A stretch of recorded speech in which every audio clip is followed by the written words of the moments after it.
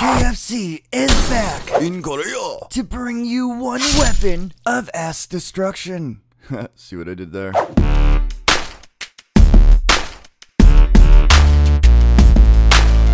So I got a request from Michael T to make this. At first I was like, what the hell is that? Looks like Salisbury steak TV dinner meat. Then I realized it's from Korea, so if you ever seen the movie All Dogs Go to Heaven, well, they're really going here. Just kidding. Well, at least not mine. This bad boy was made with authentic Walmart grade 80-20 ground beef. JP wants me to make this zinger double down thingy. I don't condone the sandwich, by the way. I definitely condone it. Grab some seasoned flour. If you can find this stuff, it tastes just like KFC. In another dish, pour in some buttermilk. And for whatever reason, Julia wanted to use all of the one pound of chicken breast meat, so we're rocking out two half pound patties. These hands cook everything on this channel. Now dredge the chicken in buttermilk and then toss it into your flour. Use a spoon until the chicken is fully coated. Then flip and then pat on some more flour. Once you're done, toss these in your freezer for a few hours to firm up. In the meantime, let's cook some bacon. The awesome thing about bacon is that you can have it sit out for hours, even days. It tastes just as good, if not better, than coming right off the grill. Actually, you should not let bacon sit out for days. That's kind of disgusting. That's false. Bacon is good all the time. Zinger sauce. I don't know, these sauces all taste the same to me. So I just mixed some horseradish sauce, that's really hard to say, ketchup, Tabasco, cayenne, and mayo. Say hi, Mr. Pig. No. So we hand pressed about one pound of meat, uh, which is kind of unnecessary, and lightly seasoned it with some salt and pepper.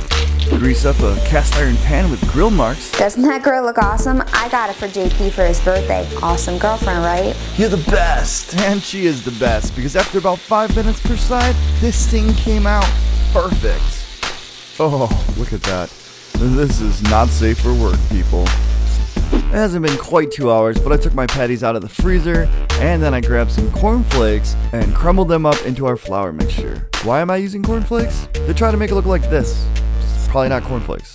Just like before, we're gonna dip into our buttermilk, and now into our cornflake flour mixture. Since these patties were obnoxiously large, we couldn't use my deep fryer, so instead we're going to pan fry these with some vegetable oil instead. Due to the magnitude and size, it took 6 minutes per side to be fully cooked through. And since our pan could only fit one chicken patty, we were pretty much bored for 24 minutes.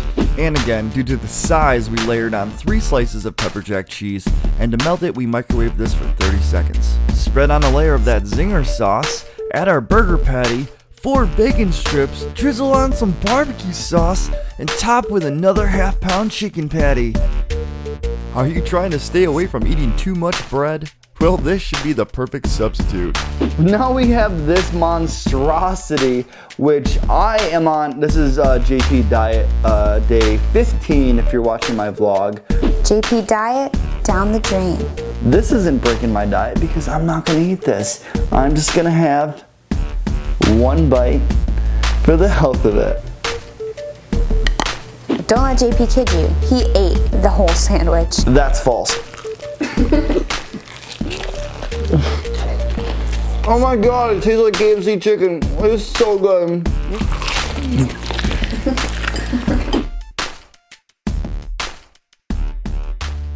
Next time on Healthy Junk Food, we're taking Hamburger Helper to the next level. Julia, give me the ground beef. Here you go, Tom. This is raw. Yeah, because you didn't cook it. I'm trying to help Julie out as much as I can, but JP's freaking out and that's not helping anything. A little bit of magic love. hamburger helper. It is important. I'm not just gonna give up. I'm not. Because it wasn't cooked. I don't know if there'll be enough time. Is there anything more cliche than this fing video JP's making me do? Find out what happens next time on Get over here. Healthy Junk Food. I'm good chef, chef.